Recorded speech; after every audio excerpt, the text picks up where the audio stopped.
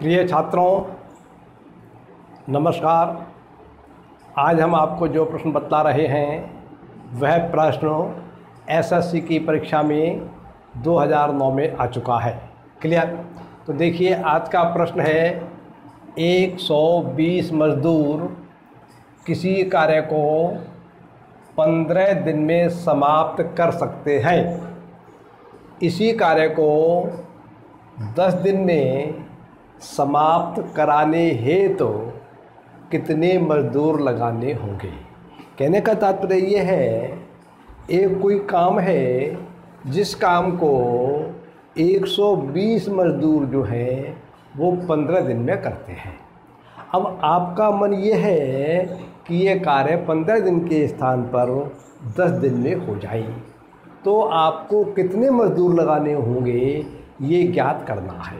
तो देखिए, इस प्रकार के प्रश्नों को हल करने के लिए सबसे पहले तो ऐसा होता है कि जिस चीज़ का आंसर निकालना होता है, वो सबसे आर सीधे हाथ की तरफ़ लिखते हैं। तो हमें इसमें मज़दूर निकालने हैं तो मज़दूर तो लिख लेंगे यहाँ पर। और एक हमारे लिए दिन दिए हुए हैं, दिन लिख लेंगे यहाँ पर। क्लियर? अब पंद्रह दिन के अंदर 120 मज़दूर काम करते हैं। या 120 मज़दूर पंद्रह दिन में काम करते हैं। तो दिन के नीचे दिन लिख लेंगे और इसी से संगत जो है, संबंधित मज़दूर जो है, वो यहाँ लिख लेंगे। अब हमारा उद्देश्य ये है, हम ये मालूम करना चाहते हैं, इस काम को अगर हम 10 दिन में पूरा कराना चाहते हैं तो कितने मज़दूर लगाने पड़ेंगे? तो 10 दिन तो ये लिख लेंगे हम। और ये मज़दूर हमें नहीं मालूम इसके साथ के कि 10 दिन के लिए कितने मज़दूर चाहिए। तो यहाँ पर हमने एक्स मान लिया कि हमारे लिए एक्स मज़दूर ज्ञात कर निकालने हैं, ठीक है ना? एक्स मज़दूरों की ज़रूरत पड़ेगी। अब देखिए, ये प्रश्न जो है, वो कभी तो सीधे अनुपात का होता है, कभी उल्टे अनुपात का होता है। दिन और मज़दूर में या मज़दूर और दिन में उल्टा अनुपात होता है। क्लियर? अब ये कैसे पहचानेंगे? इसके बारे में हम आपको पहले कई बार बता चुके हैं। आज द्वारा से फिर बतलाई देती हैं। देखिए, ऐसा है कि यहाँ पर कौन सी संख्या लिखी है, इससे कोई मतलब नहीं है। आप मन में ये कल्पना कीजिए कि आपको काम जो है, वो कम दिन में कराना है। तो कम दिन में कराने के लिए मजदूर कितने लगाने पड़ेंगे? ज़्यादा। मतलब दिन तो कम हो रहे हैं। और मजदूर ज़्यादा हो रहे हैं। या आप ज़्यादा दिन में काम कराना चाहते हैं तो मजदूर कितने लगाने पड़ेंगे? कम। मजदूर ज़्यादा हो रहे हैं, दिन कम लगाने पड़ेंगे। तो एक चीज़ ज़्यादा हो और एक चीज़ कम हो तो इसे कहते हैं उल्टा अनुपात और दोनों चीज़ कम हो जाए या दोनों चीज़ ज़्यादा हो जाए तो इसे कहते हैं सीधा अनुपात। जैसे मान लीजिए आप कपड़ा खरीदते हैं तो ज़्यादा कपड़ा खरीदेंगे, ज़्यादा मीटर कपड़ा खरीदेंगे। कपड़ा ज़्यादा मीटर खरीदा तो आपको पैसे भी ज़्यादा देने पड़ेंगे। कम मीटर कपड़ा खरीदेंगे, आपको कम पैसे देने पड़ेंगे।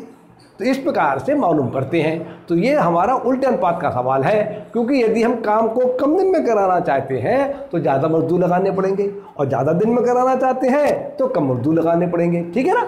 अब ये चाहे उल्टे अनुपात का सवाल हो, चाहे सीधे अनुपात का सवाल हो, इस पे तो लास्ट की जो जिसकी चाहिए मान निकालना होता है, इस पर तो तीर का निशान जो लगाते हैं, वो ऐसा लगा लेते हैं।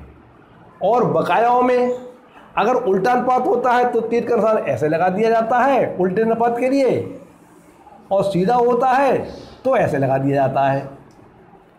अगर सीधे अनुपात का सवाल है तो। अब इस तीर का मतलब क्या है? इस तीर का मतलब ये है कि अगर ये तीर ऐसे लगा हुआ है तो इसका मतलब ये संख्या पहले लिखी जाएगी, ये बाद में लिखी जाएगी। और तीर ऐसे लगा हुआ है, इसका तो ये संख्या पहले लिखी जाएगी, ये संख्या बाद में लिखी जाएगी। तो यहाँ के चूँकि तीर ऐसे लगा हुआ है इसलिए यहाँ पर तो लिखेंगे हम 120 अनुपात x और यहाँ पर तीर ऐसा लगा है, उल्टे अनुपात में तीर उल्टा लगाते हैं इसके हिसाब से।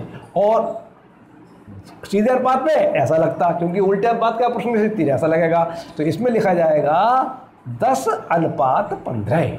तो आपको इस से ये प्राप्त हो गया कि 10 अनुपात पंद्रह बराबर है 120 अनुपात x अब x का हमें मालूम मालूम करना है। तो देखिए, जब इस प्रकार से अनुपात लिखे होते हैं, दो अनुपात बराबर लिखे होते हैं तो इसका नियम ये है कि बाहर वाले पदों का गुणनफल अंदर वाले पदों के गुणनफल के बराबर आता है।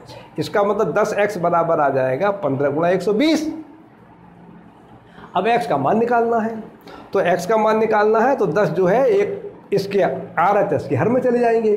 तो x बराबर हो जाएगा पंद्रह गुणा एक सौ बीस बटे दस। इस दस से काटेंगे तो बारह यहाँ प्राप्त हो जाएँगे और एक यहाँ प्राप्त होगा। हर का एक प्राय लिखा नहीं जाता है। अब यहाँ पे अंश में कितने बचे? पंद्रह गुणा बारह।